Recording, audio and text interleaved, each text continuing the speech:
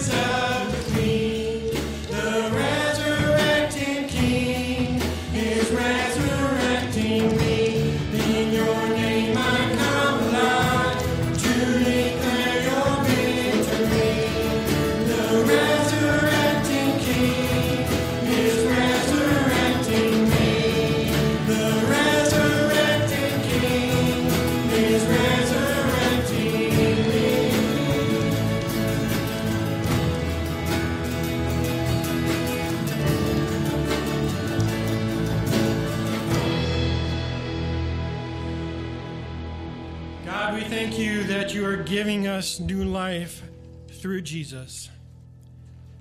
And that sweet and amazing gift is available to all.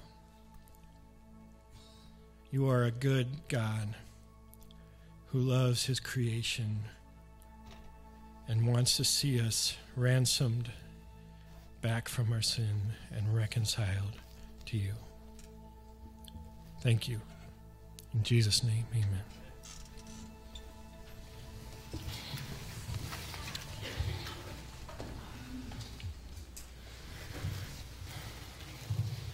When my children were young, we were actually just watching some of the home videos last night, and you, you reminded of some of the way things were that you don't always recall. But one of the things that I noticed on these videos is there was a number of, of items throughout the house as these videos were being recorded that I hadn't remembered. One was a small wind tunnel vacuum cleaner that matched the vacuum cleaner that we had and used.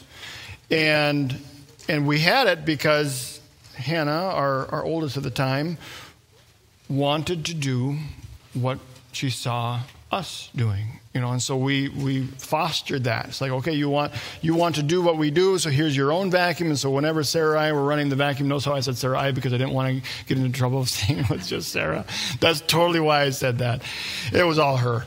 Uh, so while Sarah, I'm just going to say it. While Sarah was running the vacuum, because I just didn't run the vacuum, uh, while Sarah was running the vacuum, Hannah would want to do the same thing. You know, there's there's this natural intrinsic thing that's going on there with our kids when they see what we're doing they want to do it likewise we had we, you, i showed the video years ago we had isaac was pushing his little bubble making lawnmower behind me as i'm cutting the grass you know they do you go back and forth that's all they want to do they're wanting to do what it is that you're doing and it's it's this picture of leadership and followership that kind of goes hand in hand and we're going to look at that this morning. And there's times, honestly, in my life where I, I, want my kids to do what I do, and there's times in my life where I don't want you to do what I do. You know what I'm saying? That's a tough. That's a tough balance. It's a tough thing to kind of wrestle with and, and work through. Um, but when in our culture, our culture basically, we, we hold this esteem for leaders. We like great leaders. And when we look at these great leaders, we just hold them in such a lofty position. Oh, they're such a great leader. And we want people to be great leaders. We're looking, we're stepping into the 2020 election. We're, let's be honest, in America right now, we're not really looking for the great leader as much as we're looking for whoever's electable. You know, that's what it boils down to, which is unfortunate. But even in that capacity, we want the great leader, but we don't always want the greatest follower. We look actually look down on this idea of, of finding someone who's just, oh, they're just a follower. I'm telling you now, get this, depending on who you follow, can make all the difference as to whether or not you're a great leader. Does that make sense? Who we follow comes before whether or not we can ever be a good or even a great leader. It starts with following. And that's what we see. We see it through the scriptures. There was, uh, we look at it with Abraham, the father of faith, if you would, in, in the scriptures. Here's this man, Abraham. He's living basically out in this region, and God says to him, Abraham, I want you to take your wife, your kids, your family, etc., which he didn't really have kids yet at that time. I want you to go into the land that I will show you. And so Abraham takes his stuff and he heads off, not knowing where God's going to be taking him, but he's following. He's got to follow somewhere. And Abraham became, in a sense, this founder of Israel, somewhat of a great leader. He was esteemed by generation after generation after generation because of the faith that he had. And where did it start? Did he start suddenly because he went to some leadership seminar and was trained as to how to be a great leader? No, it started with his obedience to follow God when God said, I want you to follow me. We see it in Moses. Moses, perhaps, is, is recognized as the greatest leader of all Israel. He led the people out of Egypt and through the desert for 40 years, bringing them finally to the promised land. But even in his life, all Moses did was follow. He followed a pillar of cloud. He followed a pillar of fire. Everything that he did was an act of following what God had laid out for him. Yeah, he was a great leader. But it wasn't because he had great leadership skills, it was, it was because he was a great follower. You see it all the way through the scriptures. You see it in a man named King David.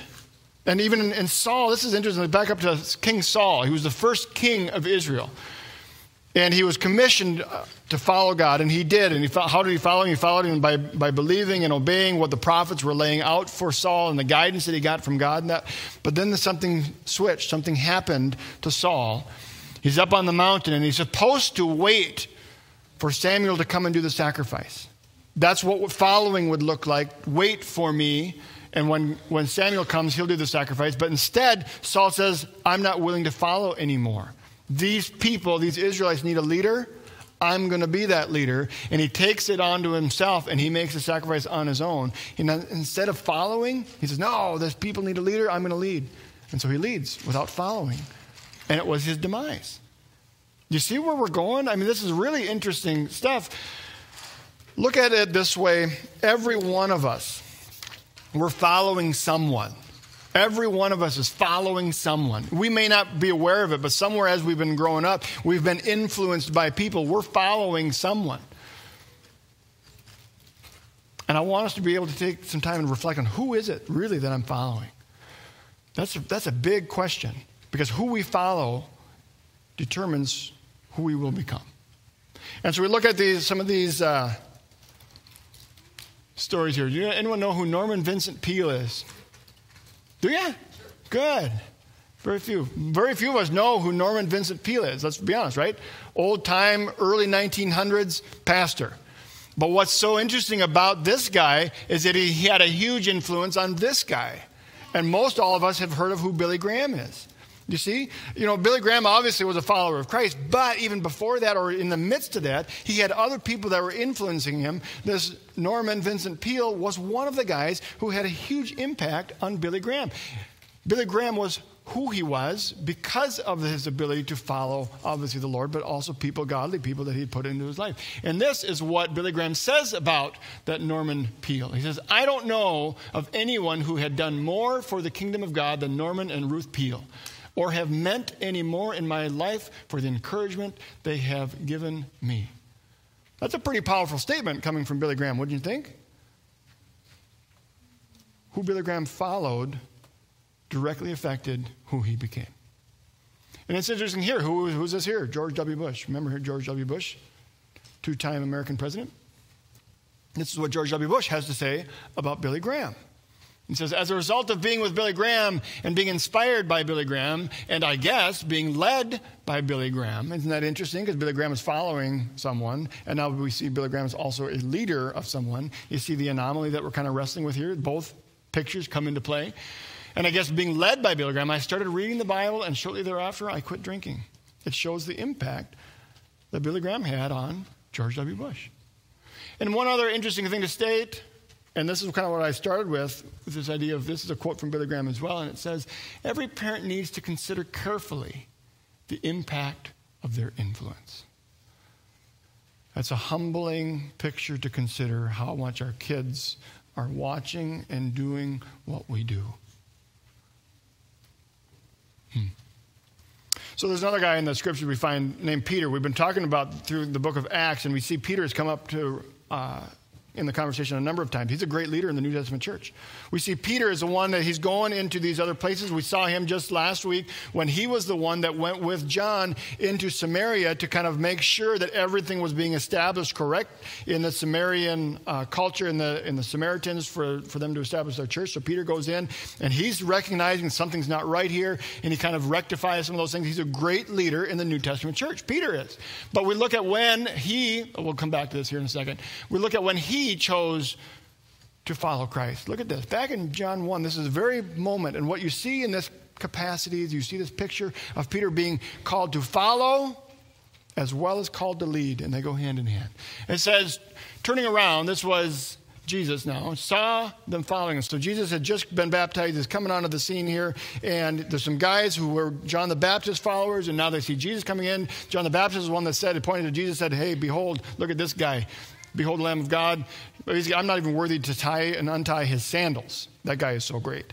And so some of John the Baptist's disciples actually leave John the Baptist and start following Jesus Christ. And that's what we're seeing here. And Jesus turns around and sees these guys following and says, What is it that you want? And they said, Rabbi, which means teacher, where are you staying? In other words, where are you going? And Jesus' response is, Come. In other words, follow me. I'll show you where I'm going to be staying, and you will see. So they went and they saw where he was staying, and they spent that day with him. It was about four in the afternoon. Andrew, Simon Peter's brother, was one of the two who heard what John had said and who had followed Jesus. So, okay, catch the, the phrasing there. Simon Peter's brother was one of these guys that followed. They went to Jesus, they followed him, they heard what, what John the Baptist said, which was, Behold, the Lamb of God. And the first thing Andrew did was tell his brother Simon, this is Peter, Simon, and tell him, We have found the Messiah, that is the Christ. And he brought Peter to Jesus. And Jesus looked at him and said, You are Simon, son of John. You will be called Cephas, which, when translated, is Peter. In other words, rock. And then we fast forward to the end of that same gospel. That's how the gospel started. This is the end of that same gospel. We find this encounter with Peter. If you know Peter's story, what ended up happening, he was a follower of Christ throughout the whole time that Jesus had this earthly ministry. Well, came time when they're at the Last Supper, and Jesus says, One of you is going to deny me. And Peter says, Nah, not going to be me. Even if everyone else does, I'm not going to do it. And Jesus says, Yes, you are. And he says, No, I'm not. And he says, Yes, you are. And he says, No, I'm not. Reminds you of the drive you had home from St. Cloud the other day, doesn't it?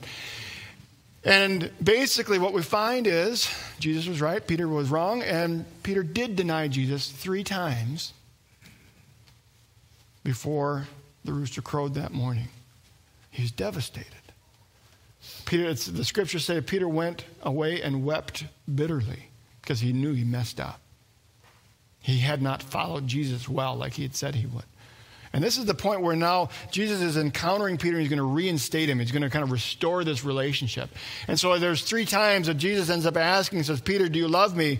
And there's words in there, we're not going to get into that now. And Peter ends up saying, Yes, Lord, I love you. Do you love me? Then feed my sheep, etc., etc. We get to the third time. The third time he said, Simon, son of John, do you love me? Peter was hurt. He was hurt. He was already dealing with that pain that he had rejected him, that he had messed up. He's hurt because Jesus asked him the third time, Do you love me? He said, Lord, you know all things. You know that I love you. And he says, Feed my sheep. And very truly, I tell you, when you were younger, you dressed yourself and went where you wanted. But when you are old, you will stretch out your hands and someone else will dress you and lead you to where you do not want to go. This is talking about his, Peter's death. So, in other words, he's saying basically, guess what? You keep following me, you're going to die in a way that you don't want to die. Jesus said this to indicate the kind of death by which Peter would glorify God. Then he said to him, Follow me. It's interesting, if we look at some of those other scriptures, Peter's first response after that, it says, Well, what about him? And he says, That's not your concern. You follow me. Peter becomes a great leader in the New Testament church. It's not because he went to a leadership seminar, it's not because he had great leadership skills. It's because why? He learned how to follow Christ well. And that's what we're going to see as we step into this book of Acts and we look at this character Philip again. If you remember, uh, this is where Paul lays it out for us. This is kind of this is our theme, I would say, for the day, for the day. Paul, who we're going to actually talk about next week, he's converted. We talked about briefly last week. He started persecuting the church. Paul writes this later to the Corinthians, and he says, "Follow my example as I follow the example of Christ." In other words, follow me as I follow Christ. I'd like to be able to say that every day. And I don't think I can say that every day. But I will do my best to be able to follow Christ so that I can say that on a daily basis. So that's kind of a theme that revolves around it. So here we go. Uh, Acts chapter 8. But when they believed Philip, this is looking back to last week. So Philip is in the Samaritan area. Uh, things are going well for him. A lot of people are choosing to follow Christ. Things, I mean, it's a good ministry he's got going on there. But when they believed Philip as he proclaimed the good news of the kingdom of God and the name of Jesus Christ, they were baptized, both men and women. We'll talk a little bit more about that baptism. We're going to say that word baptism or baptized is going to come up again today in this story. But this, this shows this picture. People are coming to Christ. Philip is a leader. He's the one that's, that's there in Samaria, Samaria, Samaritan, and he is leading the people, and he's leading the people to Christ. He's a leader. But why is he a leader? Because he knows how to follow. After they had further proclaimed the word. This is verse 25. This is how we left it off last week, right at the very end. I've probably even skipped this verse, so we're getting back to it today. After they had further proclaimed the word of the Lord and testified about Jesus, Peter and John returned to Jerusalem, preaching, in the, preaching the gospel in many of the Samaritan villages. So you saw, we saw how the gospel had spread. Remember in Acts chapter 1, verse 8, we read it, we've, we've hit it over and over again. That's the main theme verse of the whole book of Acts. Jesus says to his disciples, he says, And You will be my witnesses. And it'll start in Jerusalem, which was the city. It'll go into Judea, which is the, the region. And then it's going to be in Samaria, which is broader yet. And to the very ends of the earth. Guess what? Today's coming today? The very ends of the earth. And I mean that in a very literal fashion in their belief in that culture. Okay. Help. It's not working, Kim. Verse 20 six, unless I've got this slide repeated over and over again. There we go. Okay, now an angel of the Lord. So this is where we start in. Here was Philip in Samaria. Things are going well for him. Okay? And now what we find is God's changing some things. An angel of the Lord appears to Philip and he says, Go south to the road, the desert road. And it's interesting, I've heard some people kind of talk about, you know, commentaries and even preachers and such on this passage. Maybe there's something here, but it's interesting how God has taken Philip from a very comfortable and thriving ministry and he sends him out into the desert road.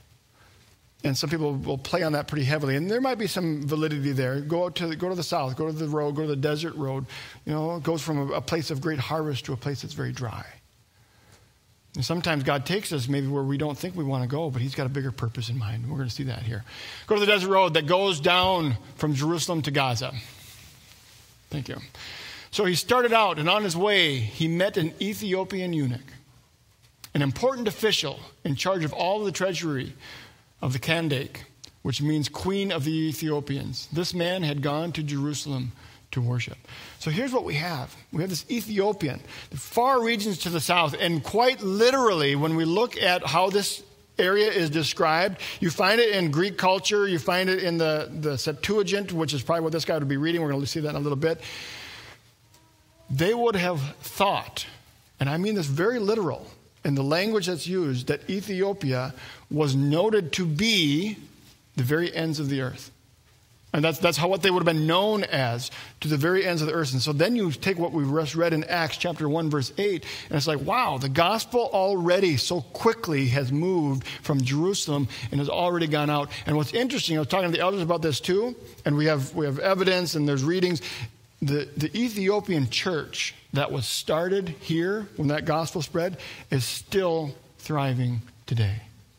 It's astounding and how quickly that gospel spread. And you see what Jesus had foretold is coming to pass. And it happens through divine appointments that he has.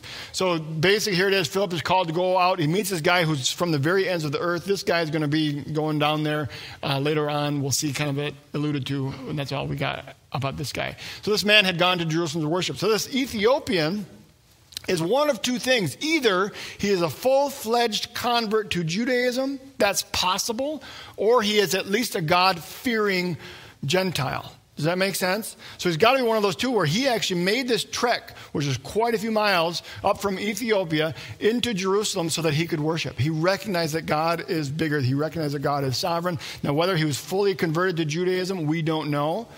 But he's reading the scriptures. That could have been Hebrew, that could have been Greek. Most likely, it was probably a Greek translation of the scriptures that he was reading. And there's some evidence as to why that is, too. I'm not going to bore you with that right now. And it reminds us of what we just talked about. This is where that gospel is going to go Jerusalem, Judea, Samaria, and to the very end of the earth. And on his way home, this man was sitting in his chariot and he's reading from the book of Isaiah the prophet. So here's this Ethiopian from the nether regions of the world, and he's sitting in this chariot as this chariot is going, and he's reading. We're going to see that he's actually going to be reading out loud. Now, whether he's reading it himself, we don't know. He's a very important official, so it's very possible that he had someone else actually in the chariot reading to him. But either way, it was custom to actually read out loud in that culture. For us, it's like, well, stop reading out loud because it's distracting me from my own reading, you know, so we read quietly. That's what we do. But in this culture, it was very common. In fact, it would be very uncommon to not be reading out loud. When something was read, it was read out loud. And so here he is on the chariot, whether he's reading it himself out loud or whether someone's reading it to him out loud. The reading from the book of Isaiah the prophet. the Spirit told Philip, Go to the chariot and stay near it. Philip had a choice. And that first time when the angel appeared to him and said, Hey, go on the road, the desert road, I need you to go south. Philip could have said, No, I don't think so. Things are going really well here. I'd like to stay. He had the choice. He chose to follow. Likewise, in the same capacity, the Spirit is leading him to the Ethiopian. The Ethiopians, we talked about the Samaritans and the, the Jews, they didn't get along. These people, racism would have been rampant. And they looked at these people from the ends of the earth like, we don't associate with them. There was such polarity existing. And so the Spirit says, I want you to go up to that chariot where that man is sitting who you kind of despise, and I want you to just stay near it. Philip doesn't have to go. There's nothing that makes Philip have to go there, but instead, what does Philip do? What makes him a great leader is the fact that he's a great follower. And he says, okay, and he follows and he goes and stays near the chariot. And then what we see is happening is then Philip ran up to the chariot. Not only does he go, but he actually runs to the chariot and he heard the man reading Isaiah the prophet. And then this is, the, this is a divine appointment. This is God orchestrated. Understand this. God knew everything that was going on here before it ever happened. You ever be in those situations where you find yourself like, wow, why did this happen? Why are you here right here when I knew? Why did you say what you just said? You find yourself in this moment where you know that was a God divine moment, God divine interaction. It's like, that's why we're here. I've heard people say that to me in different capacities where they said, you know, I came and I, I heard this happen, and it's like I knew that's that's what God has for me. There was this divine God was doing something crazy. I know sometimes it's hard for us to believe God was doing something crazy, and He was calling me to that. You know, I remember I was I was at uh, Promise Keepers. I graduated high school. I don't think I had started college at, so I think it was 1994. I got into this Promise Keepers, and it's huge. You know, it's down at the Metrodome. They don't have Promise Keepers at the Metrodome anymore. You want to know why? They tore the building down. That's why. It'd be very cold. So, we had this Promise Keepers down at the Metrodome, full of all these guys in there. And I, there was a guy speaking. I have no idea what he said. Nothing. The, the sound was so bad, whether he was mumbling, I have no idea what he said. But there was a divine moment in my life at that point where I felt like the Lord was saying, Ryan, I need to have business with you. And I actually went down at that time, and like I said, I don't know a word that that guy spoke. It had nothing to do with it. But God had a divine, catch this now. So I'm down there on the floor, the Metrodome. There's like 60,000 people. I'm probably exaggerating that. 60,000 people. Who comes up behind me? It is my 10th grade English teacher. I didn't even know he was there. This is that same one that I talked about a couple weeks ago with about the whole idea of forgiveness. Remember that? He came up behind me and he put his hand on me. I was like, Who's touching me? This is really awkward. There could be a lot of people here. Just please don't touch me. And I turn around and I see it's him. There's this divine appointment where God has us like, Seriously? How does that work? I'm telling you, that's what we're looking at here with Philip and this Ethiopian. Here's this Ethiopian traveling from Jerusalem back to Ethiopia. And God leads Philip to go there for this divine appointment because God's got something major that he wants to have happen right here. And it can happen. No matter how great of a leader Philip is, it can't happen unless Philip's a great follower. Do you hear that?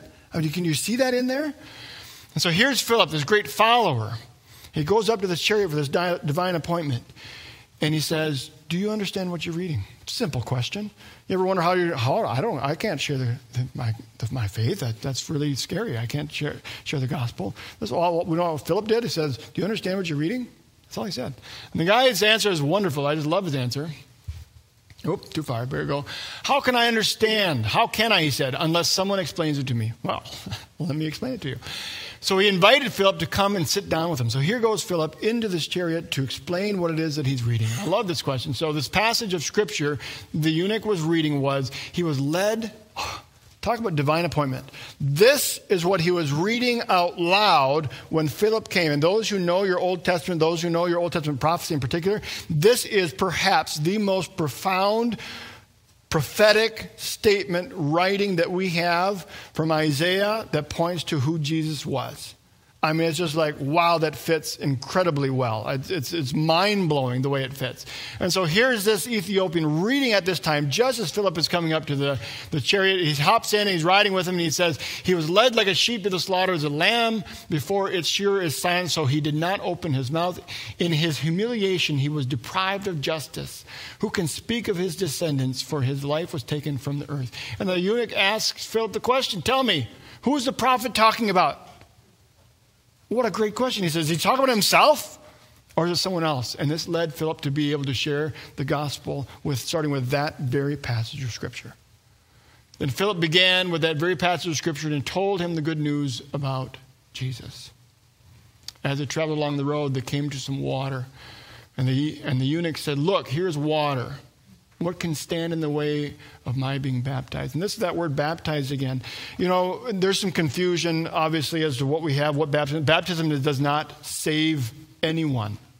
I don't believe we are saved by baptism. You may disagree with me on that, but I'm going to hold to that one. Baptism is this physical demonstration of following Jesus. That's really what it boils down to. And it's very, it started in that culture, and that culture would have understood it very immensely. But this idea of it is why we choose baptism in particular. It means we're immersed with it, we're totally covered with, we're, we're all in, we're engulfed in this idea of what the gospel is. And so that's what that word really means is to be basically immersed in or to be covered in.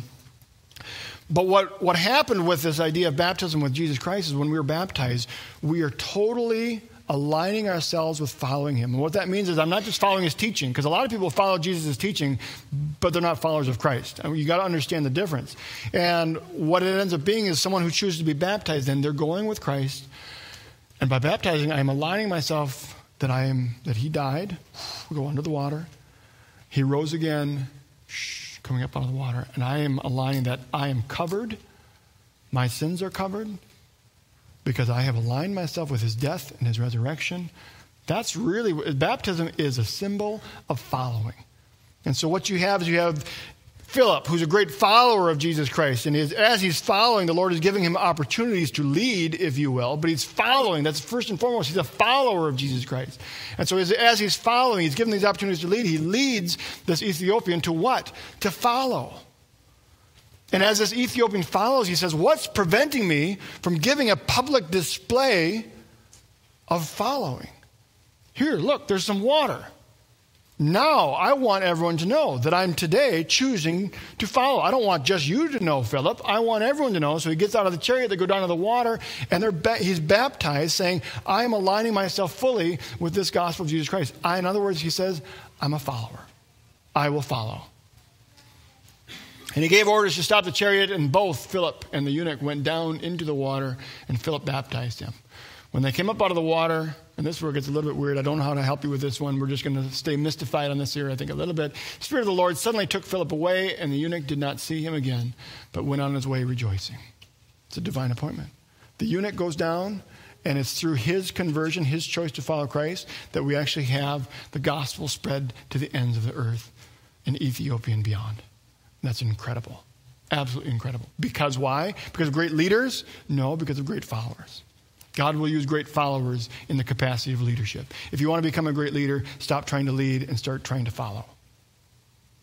Philip, however, appeared at Azotus and traveled about preaching the gospel in all the other towns until he reached Caesarea. So, in other words, Philip goes out continuing to follow and letting the Lord use him as he will.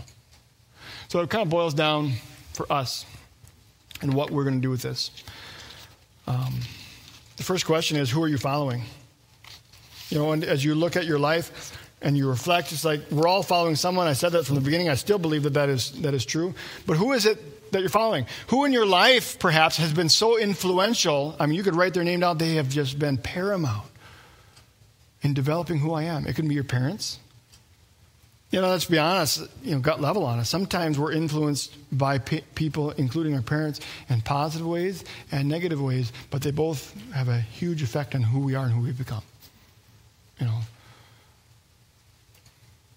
who I choose to follow is huge in who I become. Because just because someone has influence on me doesn't mean that I have to follow them. You know, it's like the the middle school and high school years. You can have all kinds of influences going on you there, right? Teachers, positive and or negative. Your peers, positive or negative. The influences are there. But who will you choose to follow? You know, we have, we have students, we want them to become leaders in their school. Yep, I'm all in favor of that, but where does it start? They got to know who to follow first, don't they? And have to be committed as to who to follow. In our workplace, who are we going to follow? As parents, who are we going to follow?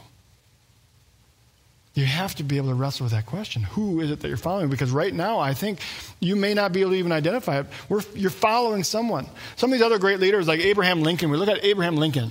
Wow, he was a great leader. Yes, he was. Heavily influenced by President Fillmore, was one of them. Look at, at the character that they had had that preceded him. We all have people that we follow. Adolf Hitler, I started to say, as far as a leader goes, he was a great leader, right? Perhaps one of the greatest followings that anyone had ever known in the history of, of humanity. Who was he influenced by? An anti Semitic composer. He was, he was so moved by his music and what the man then believed, which was Jews are bad, in a nutshell. He was so heavily influenced that's who he was following. Do you see that? Adolf Hitler was a leader, but even before he was a leader, he had to be a follower. And so we're developed by who we follow. So, who are you following? And maybe the better question then to re- reflect on is who will I follow? As the Ethiopian came to the point of, I will follow Christ, and it changed his life. So, if we choose to follow Christ, basically, how do, how do we do that? You know, it's, it's simple to say I'm a follower of Christ. Well, we can't follow unless we know who this person is, unless we know what this person is doing. And I think there's two primary ways, and that's in the Word of God. So if I'm not in the Word of God, how do I know how to follow Him? And the other is the Holy Spirit. And we see both evidenced in this story. Do you see that? The Ethiopian is influenced by the Word of God as he's reading Isaiah out loud. And he's influenced by the Holy Spirit because the Holy Spirit's the one that's leading Philip. I just, I want to emphasize we need to take a fresh look at who we're following. There's some times where I don't, I don't like who I am and where I'm going, and I have to reflect, okay, why is that? It's not, that wouldn't be because I'm following Jesus then, it's because I'm following my own ways. It's Like Saul. He made that switch. He was a follower of God. And then something, nope, these people need a leader, so I'm going to lead. And he stopped following. You see that? Will you follow Christ?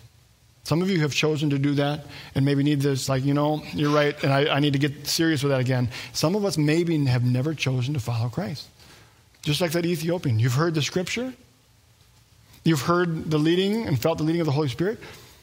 What's preventing you? Why should you not be a follower of Christ today? I'm going to invite Lane and the worship team up, and we're going to sing. And I want you to reflect. I want you to understand. I want you to challenge yourselves with this idea who am I following? And is it a place that I want to stay? Do I want to continue to follow this person or this truth or this reality, this teaching? Or is there maybe a shift that needs to happen? It's like, no, now it's time for me to start following the truth, to start following Jesus Christ.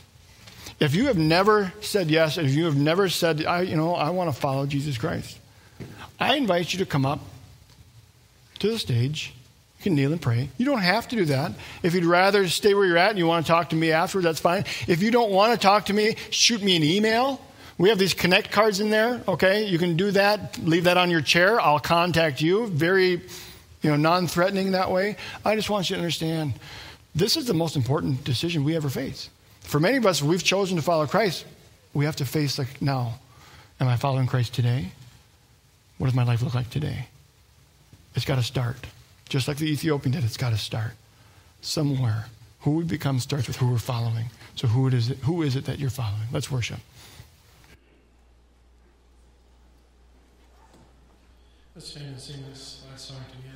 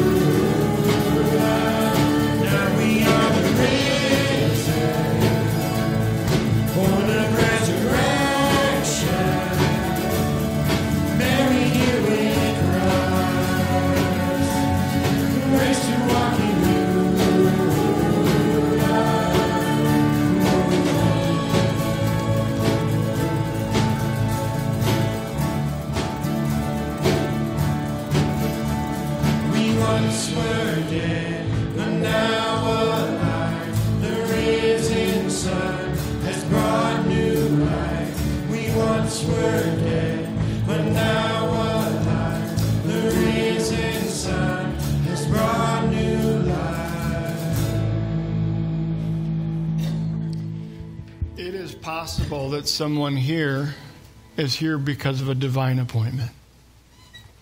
That's possible. And if that's the case, if that's you this morning, you know that the Lord's doing a work, and don't leave without making that decision like the Ethiopian did to say yes to Christ. I'm telling you, choosing to follow Christ doesn't make everything in your life go well and smooth and happy, but it gives you a hope that's beyond hope for a future that we may not even know is there. It, it, it's something that we, we find hope in the fact that Jesus Christ has saved us from that which we cannot save ourselves. We find it in this hope that, that we can be re- reunited with Him for eternity and a hope that we have hope. So if you're here and that you know that this is a divine appointment, I just want to take advantage of that divine appointment. The Holy Spirit has brought you here for that purpose. Let's pray. Lord, Thank you that you have brought us here. I thank you for this message. I thank you for this scripture. And we see how Philip has followed you. We see how the Ethiopian chose to follow you. And Lord, I just, it's hard to live in this culture, in this world, and to follow you, and, and especially to follow you well. And so I, I repent and I ask for your forgiveness that I have not followed you well. And I ask that your Spirit will lead me into these divine appointments where, where I will find myself saying yes and obeying where it is that you're leading, that I will follow you where it is that you're taking me. Lord, thank you for your mercy and your grace. Thank you for the forgiveness that you have brought, for the salvation that you have brought, that you have saved us from that which only you can save us from. That's the gospel. And then you call us to follow you. And I pray that we will say yes to follow you. It's hard because we'll face other things that will draw our attention that, hey, follow me, follow me, follow me. And we want to set those aside and first and foremost follow you so that I can come to the point where I can say, follow me as I follow Christ. Or let that resonate in our hearts this morning. In Jesus' name, amen. I encourage you to stay and connect with one another over some coffee and some snacks. And in grow groups will start at about 11 o'clock.